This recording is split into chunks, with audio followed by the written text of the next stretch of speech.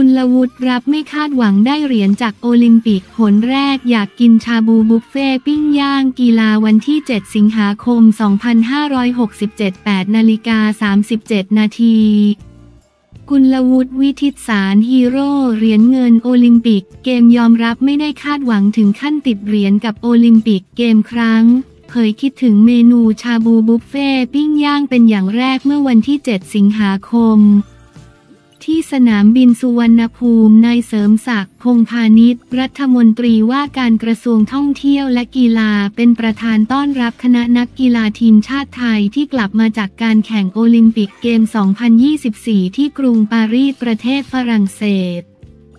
โดยคณะนักกีฬาชุดนี้ประกอบด้วยนักกีฬาแบดมินตัน ยิงปืนและกรีธาซึ่งนำทัพมาโดย วิว กุลวุฒิวิทิตสารเจ้าของเหรียญเงินประวัติศาสตร์โอลิมปิกไทยในกีฬาแบดมินตัน นายเสริมศักดิ์กล่าวโว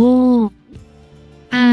ผมรัฐมนตรีว่าการท่องเที่ยวและกีฬาในฐานะตัวแทนของท่านนายกรัฐมนตรีรู้สึกเต็มมอกเต็มใจที่สุดที่ได้ยืนอยู่เคียงข้างนักกีฬาผู้ที่มีผลงานโดดเด่นสามารถคว้าเหรียญเงิน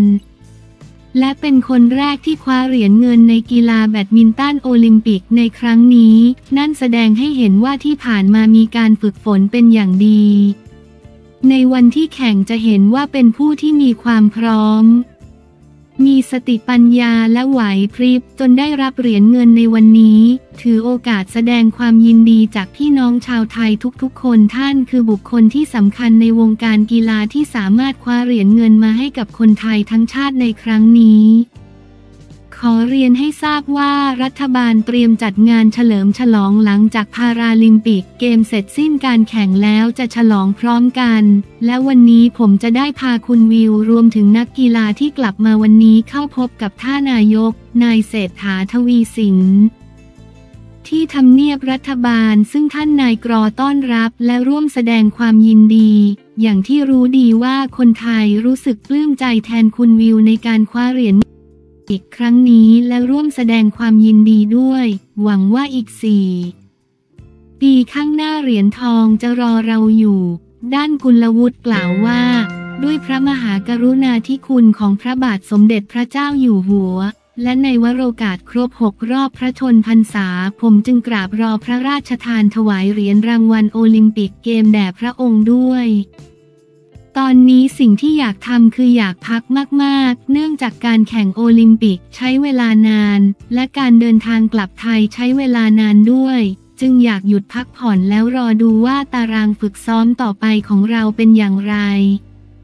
หลังจากอาจจะต้องเดินทางขอบคุณผู้สนับสนุนซึ่งตรงกับรายการแข่งทั้งเจแปนโอเพนและโคเรียโอเพนโดยในรายการเจแปนโอเพนอาจจะต้องไปแข่งแต่ในโคเรียโอเพนคงต้องขอถอนตัวเนื่องจากต้องเดินทางไกล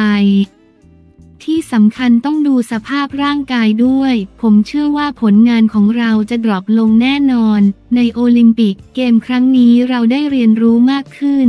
ยอมรับว่าในรอบชิงชนะเลิศเราเป็นรองจริง ๆ จุดอ่อนคือเกมบุกของเราจะเห็นได้ว่ารอบชิง เกมรุกเราทำอะไรคู่ต่อสู้ไม่ได้เลย ประกอบกับคู่ต่อสู้เราแข็งแกร่ง สูงยาวหลังจากนี้ต้องพัฒนาเกมบุกของตัวเองให้มากขึ้น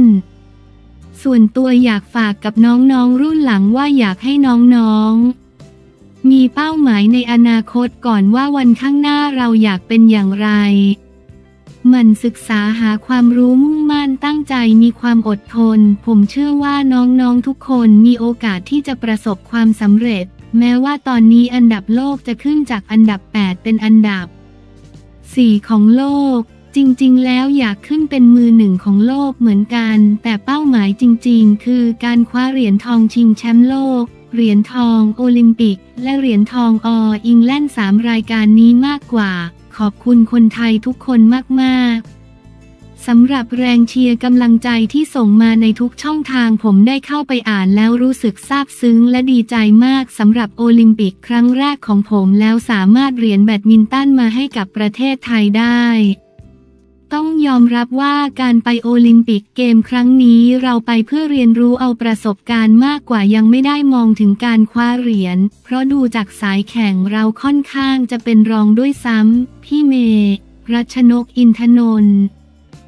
เป็นต้นแบบที่ดีให้กับน้องๆ รวมถึงตัวผมด้วย ผมเชื่อว่าอีก 4 ปีข้างหน้าพี่เมย์อาจจะมีเหรียญโอลิมปิกเกม ส่วนคำถามว่านอกจากวิกเตอร์แอ็กเซลเซนแล้วใครน่ากลัวอีกนั้น ต้องบอกว่าในประเภทชายเดี่ยวนั้น นักกีฬาจากทุกประเทศฝีมือดีทุกคน ร่างกายแข็งแรงทุกคน ผมเชื่อว่าอีก 4 ปีข้างหน้าจะเป็นงานที่ยากขึ้นไปอีกเช่นกัน รู้สึกดีใจที่เราได้เป็นตัวอย่างให้น้องๆรุ่นหลัง ผมจะพยายามทำตัวเองให้ดีเพื่อให้รุ่นน้องได้เอาเป็นแบบอย่าง ต้องขอบคุณโรงเรียนแบดมินตันบ้านทองหยอด แม่ปุกโคชเป้ รวมถึงทุกๆ คนที่บ้านทองหยอดซึ่งคอยสนับสนุนผม รวมถึงครอบครัวผมด้วย โดยเฉพาะน้องสาวผมที่คอยเชียร์ผมตลอดทุกๆ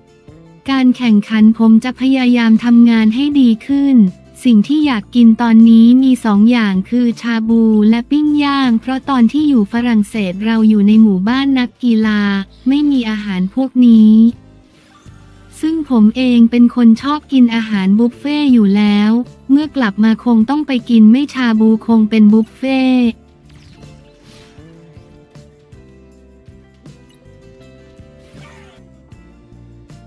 ทิธาไม่สนใจภาพตระกูล ชินวัตรพบ ประยุทธ์ ลั่นประชาชนต้องมาเป็นอันดับหนึ่ง การเมืองวันที่ 7 สิงหาคม 2567 11นาฬิกา24 นาทีทิธาไม่สนใจภาพตระกูล ชินวัตรพบ ประยุทธ์ ชี้ไม่ได้อยู่ในเหตุการณ์ขอไม่แสดงความเห็นลั่นประชาชนต้องมาเป็นอันดับหนึ่ง เมื่อเวลา 9 นาฬิกา 30 นาที วันที่ 7 สิงหาคม 2567 ที่รัฐสภา นายพิธาลิ้มเจริญรัตสสบัญชีรายชื่อ และประธานที่ปรึกษาหัวหน้าพักก้าวไกล กก ให้สัมภาษณ์ถึงกรณีปรากฏภาพของครอบครัวชินวัตร พบกับพลเอกประยุทธ์จันโอชาองคมนตรี ที่งานศพแม่ของนายเศรษฐาทวีสินนายกรัฐมนตรีว่าตนไม่สามารถแสดงความคิดเห็นได้ เพราะไม่ได้อยู่ในเหตุการณ์เห็นแค่รูปที่ปรากฏออกมา จึงไม่รู้ว่าที่มาที่ไปเป็นอย่างไร ตอนนี้ไม่มีความคิดเห็นอะไรไปมากกว่านี้ อีกอย่างก็เป็นงานศพของมารดานายเศรษฐาด้วย ส่วนตัวผมสนใจประชาชนมาเป็นอันดับหนึ่งและเพื่อนๆที่ทำงานเป็นอันดับสองและคำวินิจฉัยที่กำลังจะเกิดขึ้นในช่วงบ่าย จึงไม่ได้ไปสนใจเรื่องอื่น อย่างไรก็ตาม อีกเรื่องที่สนใจคือนางสาวแจ่มจันสุวรรณเพงนักกีฬามวยโอลิมปิกที่ได้เหรียญทองแดงขอแสดงความยินดีกับเขา นายพิธากล่าว